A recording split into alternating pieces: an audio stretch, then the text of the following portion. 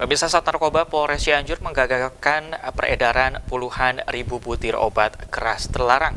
Ketiga pelaku merupakan warga Aceh yang diamankan di tiga tempat berbeda yakni Desa Cimacan, Kecamatan Cipanas, dan Desa Limbangan Sari, Kabupaten Cianjur. Sebanyak 52 ribu butir obat keras dan terlarang berhasil digagalkan peredarannya oleh Sat Narkoba Polres Cianjur.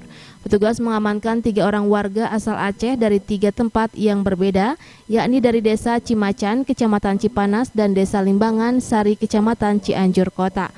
52 ribu butir lebih obat keras terlarang tersebut terbagi dalam sejumlah merek yakni Heximer 9.367 butir, Tramadol 42.612 butir, dan Trihexpenidil 84 butir.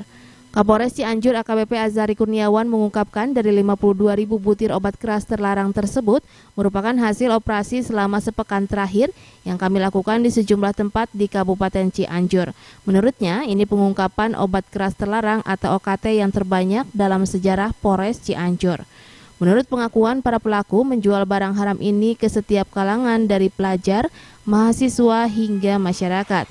Dari identitas ketiga pelaku tercatat sebagai warga Aceh, Pulau Sumatera.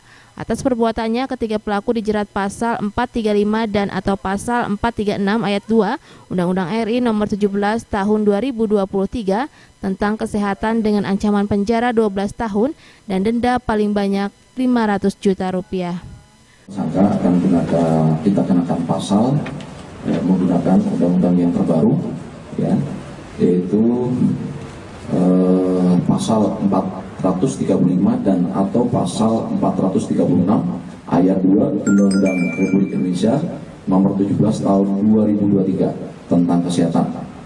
Di mana untuk pasal 435-nya eh, dengan ancaman pidana paling lama 12 tahun penjara dan pidana denda paling banyak 5 miliar rupiah.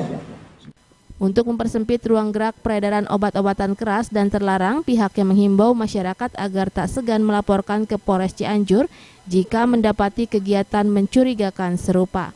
Heri Setiawan, Bandung TV.